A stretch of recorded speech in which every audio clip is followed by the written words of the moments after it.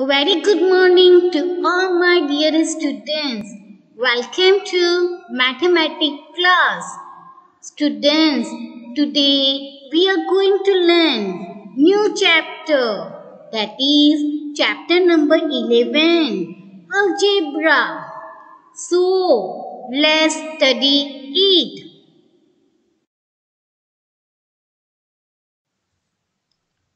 Students, so far we have learned about numbers and have performed operations on them. The branch of mathematics in which we study numbers and mathematical operations is called arithmetic. In this chapter, we will learn about another branch of mathematics called algebra. Algebra is the branch of mathematics dealing with letters, numbers and symbols forming mathematical relations. In algebra, we use numbers along with the letters like A, B, C, X, Y, Z, etc. to represent numbers.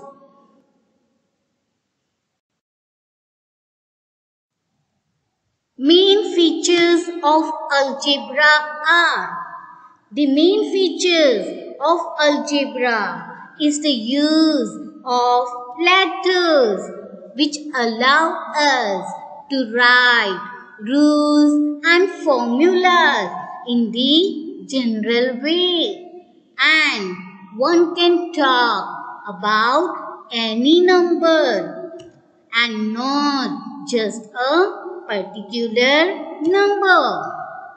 Letters may stand for unknown quantities by learning methods of determining unknown. We develop powerful tools for solving puzzles and problems from daily life. Since letters stand for numbers, all operations like addition, subtraction, multiplication and division can be performed. These lead to study of algebraic expressions. Students, you will find algebra interesting and useful. Algebra is very useful in solving puzzles and many problems from daily life.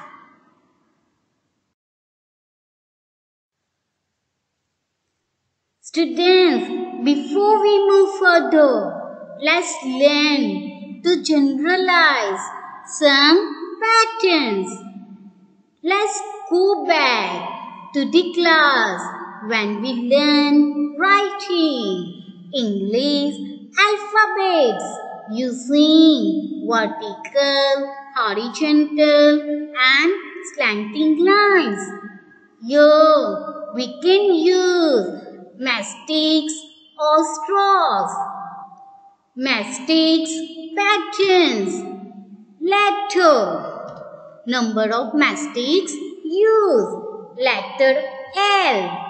Number of mastics used to form one L is 2. Number of mastics used to form two L's are 4. Number of mastics used to form three L's are 6 and so on. Students, we observe that one L is formed by using two mastics. Two L's are formed using four mastics. Three L's are formed using six mastics. We list the number of mastics required to make one, two, three, four, five, and so on. Else, let us tabulate number of mastics required and number of L's formed or made. Number of L's formed. Number of mastics required. Number of L's formed is 1. Number of mastics required 2. Two L's are formed using four mastics. Three L's are formed using six mistakes. Four L's are formed using eight mistakes. Five L's are formed using ten mistakes and so on.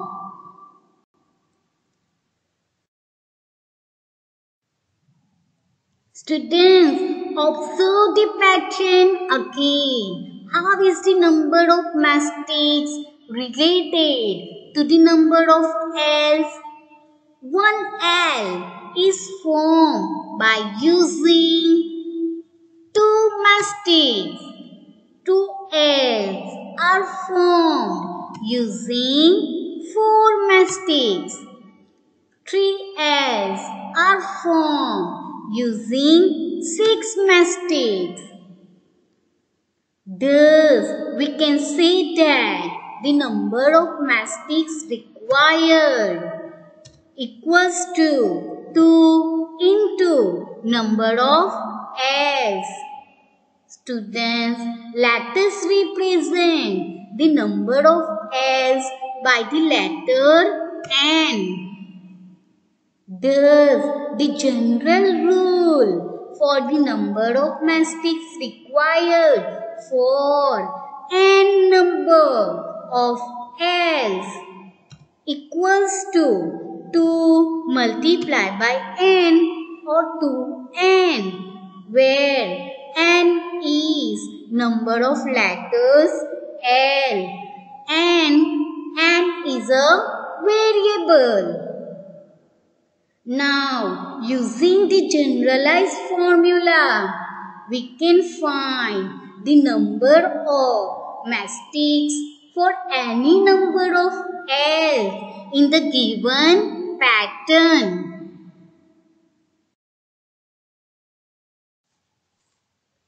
Let us now look at one more pattern and try to generalize it. Let us find the rule for pattern C formed below. Letter number of mastic used. C. When one C is formed, three mastics are used. When two C's are formed, six mastics are used. When three C's are formed, nine mastics are used. Let us tabulate the number of mastics and number of pattern C formed. Number of C's formed, number of mastics required to form C. One C is formed by using three mastics. Two C's are formed by using six mastics. Three C's are formed by using 9 mastics. 4 C's are formed by using 12 mastics. 5 C's are formed by using 15 mastics and so on. From the table, we come to know that the number of mastics required is thrice, that is three times the number of C's formed. So, we can say that number of mastics required for pattern C is 3 into n or 3n. Shortly, we write m equals to 3n. Similarly, to make f pattern, we require 4 mastics. Hence, the rule for letter F is M equals to 4N.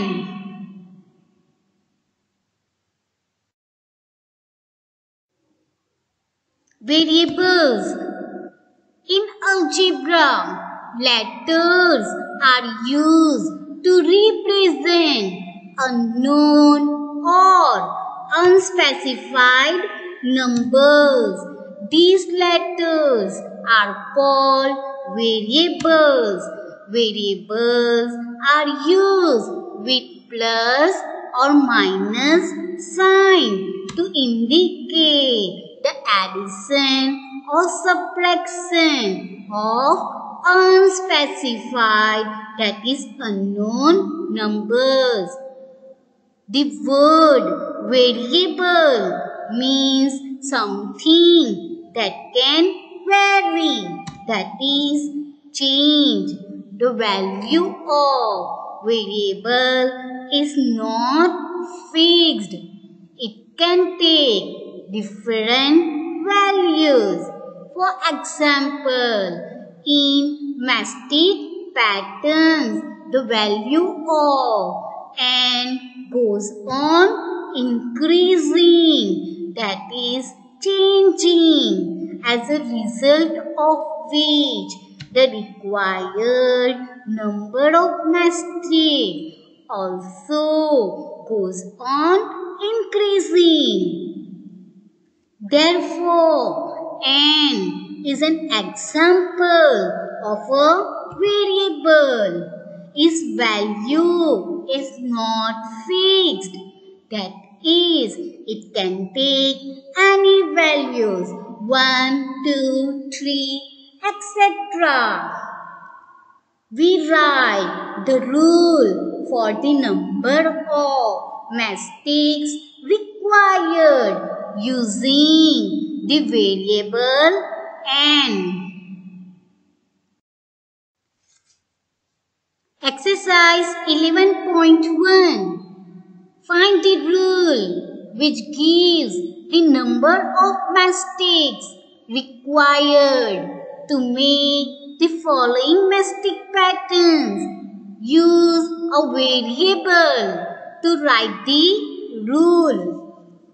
Students, in this question, we have to write the rules for number of mistakes required in order to make the given patterns and we have to use variable while writing the rules.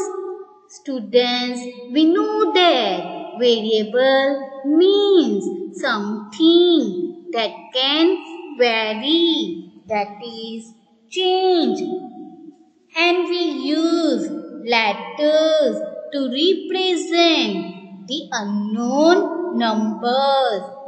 These letters are called variables. Students, we will use letter N to show a variable. So now let us solve question number 1 and write the rule for number of mastics required to form the given patterns. A pattern of letter T as students look at the pattern T and count the number of mastics used. Students, two mastics are to form letter T. Thus, rule for pattern T is 2 into n or 2n where n is number of T's formed and n is variable. Now sum B, a pattern of letter Z. Students observe letter Z and generalize the rule by observing the pattern. It becomes clear that three mastics are required to make a letter Z. Thus, the rule for pattern Z is 3n, where n is number of Z and n is variable. Now, sum C a pattern of letter U. Number of mastics required to make the pattern U is 3. Thus, the rule for making pattern U is 3n, where n is number of U's formed. Now, D, a pattern of letter V. Rule for pattern V is 2n. Now sum E, a pattern of letter E. Five mistakes are used to make a letter E. Thus, the rule for pattern E is 5n. Now sum F, a pattern of letter S. Rule for pattern S is 5n. Now sum G, a pattern of letter A. Six mastics are required to make a letter A. Thus, rule for letter A is 6n.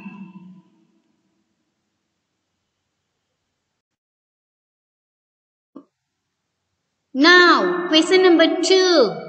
We already know the rule for the pattern of letters L, C and F. Some of the letters from question 1 give us the same rule as that given by L. Which are these? Why does this happen? Students, in this question, we have to write the letters which gives us the same rule as that given by letter L. Students, we know that L requires only two mistakes. So, all the letters given in question number 1 only T and V are required. to mastics. Thus, we can say that letters T and V give us the same rule as that given by letter L as they require only two mastics.